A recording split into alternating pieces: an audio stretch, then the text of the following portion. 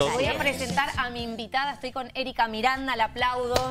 Bienvenida. Ella es especialista en desarrollo infantil y como siempre digo, cuando la tengo acá Erika, que me encanta compartir con todos ustedes las personas bonitas que se topan en la vida de uno. Erika me ha ayudado un montón en mi maternidad. Vamos a tocar un tema, Eri. ¿Qué tema, no? ¿Qué tema, eh? Nos costó un montón buscarle el título. Imagínate si nos, buscó un- nos costó un montón buscarle el título, ¿cómo puede costar en casa hablar de este tema, no? Tal cual. ¿Qué es cuál? Es el desarrollo psicosexual. Mm, Mm. Que mucha gente le tiene como pudor, miedo, y en realidad nosotros somos seres sexuados, nacemos con un sexo. ¿Qué pasa? Esto es cuando nuestros hijos, nuestros niños que están en casa, sobrino, nieto, empieza a crecer y nos empiezan a preguntar, o se empiezan a preguntar ellos porque es normal, porque, porque es la ley de la vida, cuáles son nuestras partes íntimas, por qué ella tiene eso y yo tengo eso, y qué, qué les decimos, porque viste que nos paralizamos, ay, y ya llegó, y qué le digo, no, decíselo vos, no, la mamá, el papá, no, que se lo diga tu mamá, tu tía, no, la seño, no le digamos nada. ¿Qué hacemos, Eri? Bueno, en realidad esto de las partes íntimas Mm. es muy de tu generación. Antes no se hablaba de partes íntimas. Eh, y es, un, es un, este, una nominación que el niño todavía, estamos hablando de segunda infancia, es decir, de 3 a 6 años más o menos. Eh, el niño no tiene todavía como eh, preparado como para poder subjetivar esto, no, no se entiende lo que es parte íntima, porque en realidad una parte íntima puede decir, como me dijiste vos, un brazo, eh, es íntima mi oreja, es íntima mi nariz. Entonces, eh, yo prefiero desde los dos años, que es cuando el niño empieza a desarrollar su autonomía, hablar de los cuidados que tiene que tener los agujeros del cuerpo. Es decir, cuidado con lo que se mete a la boca, con lo que se mete en el ojo, con lo que se meten en la nariz, que hay un montón de niños que tienen que intervenirse por esto, que se tragó una moneda. eh, y ahí empezamos a como hablar del cuidado del propio cuerpo. Alrededor de los tres años empieza el niño a explorar, a explorarse y a explorar a otros. Y es un juego exploratorio. Lo que pasa es que en, las, en los colegios, eh, las mamás, estamos como muy em, en alerta, en estado de alerta de cualquier cosa que si le toca, si le bajó, si le mostró. Y en realidad esto hay que bajar un poquito la intensidad para no sentir al niño culpable de algo que está explorando. El niño explora a, a partir de los dos años los enchufes, este, te ve a vos cuando te estás este, vistiendo. ¿Qué pasa con eso? Voy a hacer un paréntesis. Nos vestimos adelante de nuestros hijos y por ahí sin querer estamos desnudos. ¿Eso está Sí. bien? ¿Está mal? Nos preguntan, ¿qué le decimos? ¿Qué es eso? Eh, ¿Por qué vos tenés eso tan grande y yo no? Ujú. ¿Qué- ¿Cómo empezamos ahí? Por ejemplo, estás hablando de Las, las Las tetas. tetas. Sí, me- me- Vamos, sí. a hacer, vamos a decir Sí, así, obvio. la teta donde mamó. Ujú. Eh, en, la- en el periodo en donde hay que destetar, que se trabaja muchísimo con el niño, el desapego, el que el niño pueda tener cierta autonomía, el niño empieza a entender que la teta es tuya, que no es de ella. Esa teta es tuya y es parte de tu cuerpo. ¿Qué hay que decirle cuando seas más grande? Y esto de el niño a los seis años tiene que comer solo, vestirse y desvestirse solo, higienizarse solo, Seis bañarse. años. Sí tiene que tener logrado todo esto. Y esto se va trabajando desde los 3 hasta los 6, logrando esta autonomía que tiene el niño. Eh, esto de las partes íntimas es el cuidado personal. Que un niño muestre o se muestre accidentalmente tampoco uno le puede, eh, lo puede hacer sentir como culpable de esto. No, totalmente. Eh, Los chicos, por ejemplo, de cuatro años, las nenas te dicen, yo quiero ver, hermanas mujeres, yo quiero ver cómo es el cuerpo del papá. Y yo quiero ver cómo es el cuerpo de fulanito y de tal. ¿Y, y qué y te hacemos? lo dicen ¿Y qué hacemos? Y que no, que son partes íntimas y uno le puede mostrar videos, que hay muchísimos videos en estos momentos, como para poder mostrar de qué se compone el, el cuerpo del papá y el cuerpo de la mamá. Pero las niñas tienen curiosidad, mucha Las curiosidad. niñas. Las niñas especialmente. los nenes. Más que los nenes. Entonces, ¿qué pasa? Tienen esa exploración con un el amigo de un primito de tienen esa Sí. exploración y le, vos le preguntas, ¿qué pasó? Y te dice, y me, me pidió que le mostrara mis partes íntimas. ¿Será porque las nenas son un poco más curiosas que los nenes de No chiquitas? ¿No? Yo creo que los intereses cambian. La- el juego, el juego alrededor de los cinco años es un juego de roles. Es decir, juego a eh, que soy mamá, juego a que soy, no sé, doctora, juego. El tipo de juego va marcando el rol que va teniendo el niño. Pero ese rol también que hablábamos, igual quiero hacer un paréntesis, otro paréntesis, porque esto es un consultorio online. Así que si están en casa y les está pasando esto, que no saben cómo hablar estos temas con algún menor que esté en casa, pueden mandar un mensaje que acá nuestra licenciada Erika Miranda nos va a dar una mano, porque la verdad que es un tema que hay que abordarlo y por ahí cuesta cómo encararlo, ¿no?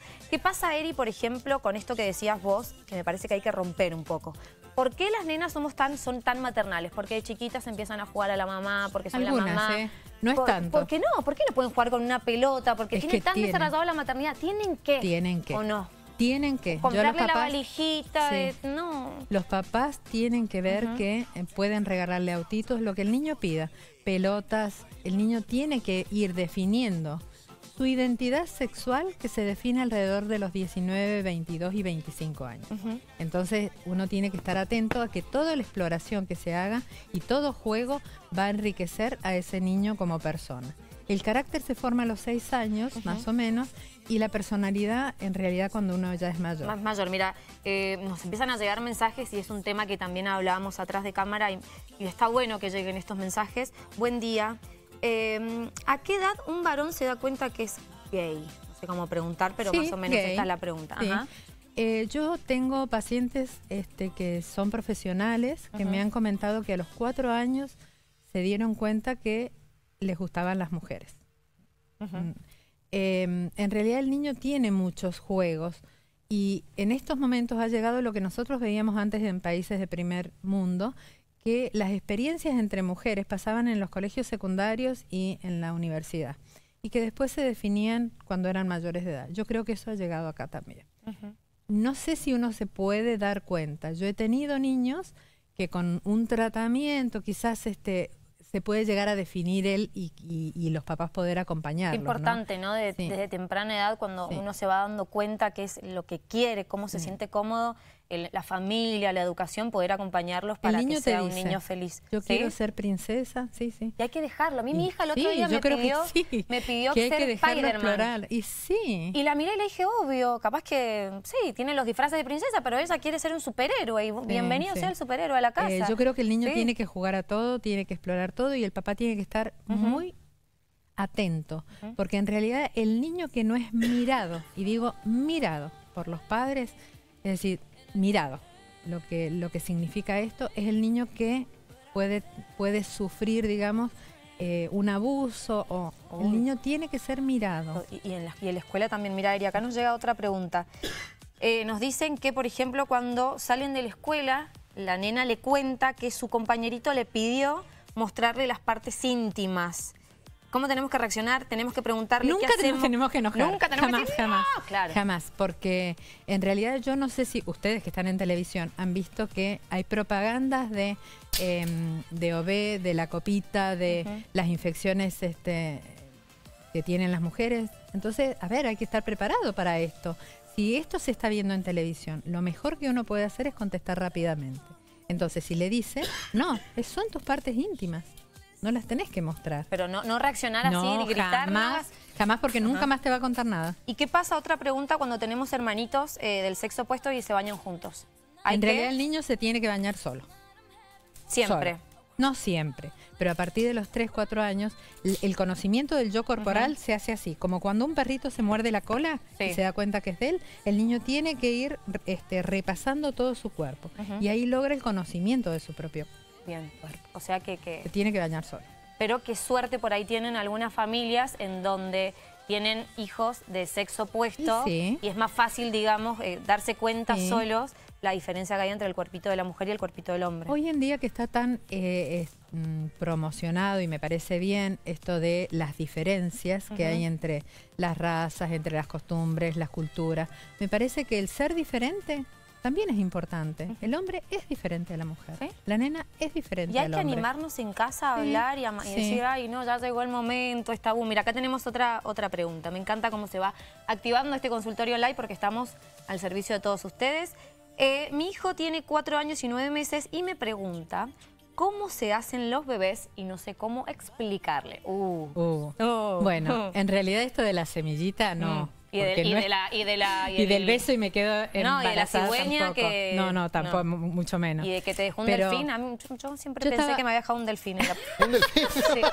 Lo voy a decir en vivo. Yo pensé que un delfín y que mi mamá Vivi, me encontró. toma nota. Y que mi mamá me encontró en un pozo. Mirá vos, qué horror. Después, obviamente me di cuenta Pobre no. chica, después hizo terapia, ¿no? ¿Quién yo? Mirá todos los días, mira dónde estoy. Dale. Este, esto de la semillita no va. Esto de dos personas cuando se quieren mucho, mucho, mucho, este, se besan y tienen un bebé, tampoco, porque tenemos mujeres violadas que han- están en televisión. Entonces Sí. está esto de si lo tiene, si no lo tiene, si es juzgado. Los chicos escuchan, son esponjas. Entonces, estos, yo les digo así a los chicos, según la edad, porque tampoco hay que darles más información de lo que te preguntan. No, aparte, o vienen muy rápidos. No hay que darle más información. Yo, por ejemplo, cuando hay colecho, que obviamente que no estoy de acuerdo con el colecho, Otro tema. no estoy de acuerdo, eh, te- le digo así, vos viste que los papás, pero adelante de los papás, vos viste que los papás se pelean a veces mucho de día. Sí, me hace. los papás pálidos. Le digo, bueno, pero es que ellos se abuenan de noche. Ah, Se abuenan de noche, entonces ese es el, ratito y el lugarcito que tienen ellos para poder hablar de ustedes y para poder abonarse. Entonces, si vos te metes en la cama, claro. no se van a abonar nunca. Perfecto. Es decir, Estaban los padres peleados todo el tiempo, imagínate. Eso a su edad. Entonces te dice, no, no, entonces me voy a mi cama. Es decir, según la edad, no tampoco darle tanta información. Hablar de uno, de uno. Por ejemplo, yo tengo una pacientita que tiene fertilización asistida con donante. Entonces esa nena desde chiquitita sabe La- lo- lo- que no hay situación, papá, claro. que no hay papá y se le ha dicho la verdad. Entonces, en estos momentos que, que- que todo esto nos atraviesa, ¿no?